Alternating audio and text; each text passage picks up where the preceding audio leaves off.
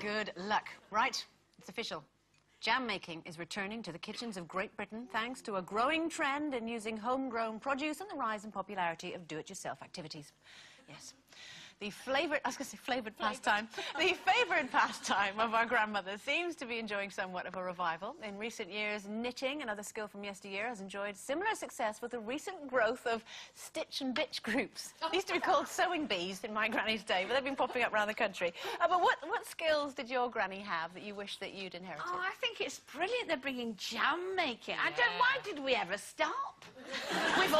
We've all got trees. That's the thing, isn't it? If you've got a tree, make something out of it. I've got an oak tree. There you are. Make a table. I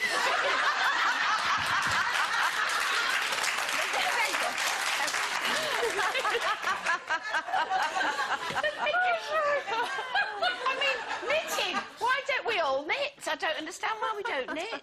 We always used to knit little baby clothes and everything. And the last time I knitted, I knitted it for my ex-husband, but I didn't follow the instructions and it just said carry on. So I've got this cardigan where it's like this. And I had to wrap the tank it in, in the end because to keep the tank warm because it was so big. So I don't knit anymore. But I think we should order. And grandmas, my great grandma, the mother, she used to knit um, dishcloths. My great grandma. Oh, I remember that. Do you? Yeah. And she used to pull rugs. Yeah. Have you ever done pull a rug? Only pull under people's today. feet. No. Yeah, uh, listen. For a man, It's the, I'm going to say it's the only thing I can pull these days. um, but pulling rugs and making little carpets and everything, I think it's No, I absolutely agree. I know what you mean. My gran, both my grands were lovely, and I, if I was off school sick, I always used to go to my Nana Garrett's, and she was fantastic. Yeah. There was there was nothing she didn't teach me actually. Everything from from knitting. She used to do the Aran knitting. You know, which is very Yeah. complicated with like a cable stitch and a, and a blackberry stitch, very modern blackberries. Yeah, thought I like, blackberry, yes. So she used to do all that. But and also she used to she used to make jam. But the best thing was lemon curd. And when she oh. got a microwave oven, oh, she was so excited. Oh, look at this, owl Lesley. I can make me lemon curd in here. It's fantastic. Look at this. And she'd be there with the microwave because she was, you know, she was quite quite modern, really advanced. She taught me two other fantastic things that I've never forgotten. She taught me how to play cards. She loved cards. We'd play cards, and she taught me about horse racing because she loved to bet. and she used to teach me about making accumulators and all these. I was only 10. I do not condone this, ladies and gentlemen, but she, she used to teach me all about making bets and, and she'd, she'd be there with a lemon curd and the form book on the side, you know, and she'd read like this, you know, in the Well, microwave. my, reading my the phone. granny Right, was art. a, a ferocious knitter. I mean, she just was constantly just knit, Yeah. knit, knit, knit, knit. And, uh, and she did used to go to the sewing bee. I think it was on a Wednesday. And uh, it's funny because I always used to think as my granny as being really old then, but she would only have been sort of in her late 50s, 50s, or yeah. something. But, you know, she was granny.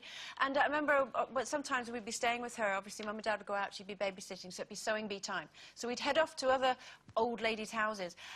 Basically, within an hour, you couldn't see to the end of the room with a cigarette like that. The click, click, click, click, click, click. Oh! Click, click, click. It was, that was, it was brilliant. Oh, everything stank of cigarette smoke, but it was, it was brilliant. I envy you all because I don't want this show to be sympathy for me, but I didn't have a granny.